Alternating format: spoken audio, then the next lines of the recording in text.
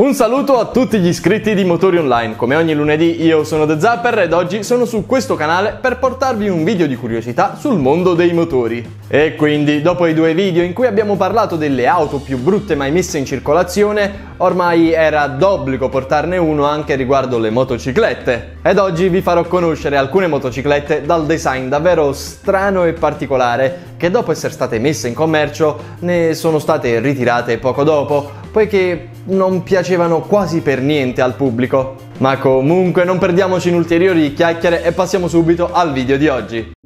Aprilia Moto 6,5 Pensata come inno al design a due ruote e firmata da Philippe Stark, la Aprilia Moto è sempre stata oggetto di discussione. Il suo artefice vanta oggetti di culto tra i suoi celebri lavori, come ad esempio lo spremi agrumi disegnato per Alessi, ma nel caso dell'Aprilia l'architetto francese ha scelto uno stile decisamente personale per distinguersi in campo moto, un mondo tradizionalmente più conservatore di quelli a cui lui era abituato. Il risultato non ha infatti convinto del tutto e dopo soli due anni di commercializzazione tra il 1995 ed il 1996 la moto fu tolta dal mercato.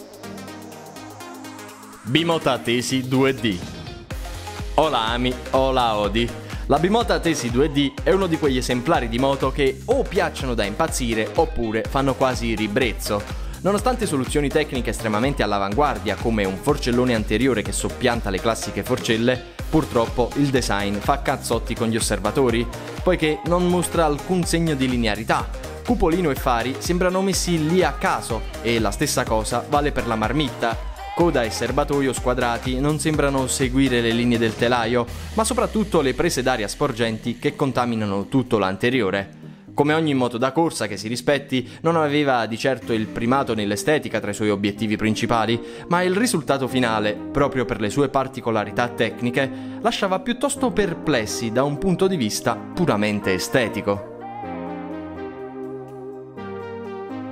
BMW K1 modello estroverso e controverso. Presentato alla fine degli anni Ottanta, doveva segnare il rilancio della casa di Monaco tra le sport tourer, ma il progetto non fu premiato da un adeguato seguito commerciale. Montava un 4 cilindri a sogliola della serie K da 100 cavalli di potenza, aveva linee audaci e innovative, forse troppo per l'epoca e probabilmente a causa delle sue linee molto squadrate e dalle dimensioni davvero notevoli, nonostante fosse pionieristica in alcuni aspetti come il particolare parafango anteriore, Ciò non ha avuto l'effetto sperato e questa sua estetica troppo audace ha sicuramente influito sulla tiepida accoglienza da parte degli appassionati. Honda DN01 I progetti rivoluzionari talvolta sono destinati all'insuccesso.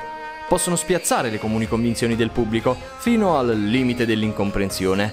Ed è proprio quello che è successo quando la Honda decise di presentare sul mercato la DN01, uno dei suoi tentativi di lanciare un ponte tra il mondo degli scooter e quello delle moto. La DN01 sarebbe l'unione di due concetti, moto cruiser e maxi scooter.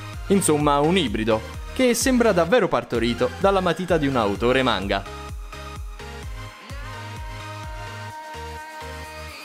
Buell RR1000 La Buell, fondata dall'ex pilota e ingegnere Eric Buell, oggi appartiene alla Harley Davidson, che ne ha sospeso la produzione nel 2009 la RR1000 del 1986, che montava un motore V-twin da 998 cm3, era l'evoluzione da corsa della Harley Davidson XR1000.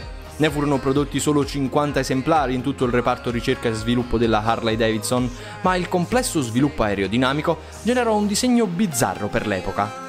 O forse rivoluzionario. Comunque, al di là del discutibile risultato estetico, oggi la RR1000 rappresenta una vera rarità, ambita da tutti i collezionisti del settore. E quindi spero che anche questo video sia stato di vostro gradimento, in tal caso non dimenticate di lasciare un mi piace, ma soprattutto di iscrivervi al canale di Motori Online se non lo siete già. Inoltre ricordate di farmi sapere nei commenti cosa ne pensate delle moto che vi ho appena mostrato, se per caso a voi piacciono o invece anche voi pensate che siano davvero brutte. Inoltre non dimenticate di farmi sapere sempre nei commenti se per caso voi conoscete degli altri modelli davvero strani e particolari di motociclette che io non ho nominato all'interno di questo video, magari potrei utilizzarle per fare una prossima top 5. E quindi penso che anche per oggi ci siamo detti tutto, ricordate che se questo video è stato di vostro gradimento lasciateci un mi piace e noi ci vediamo lunedì prossimo con un nuovo video.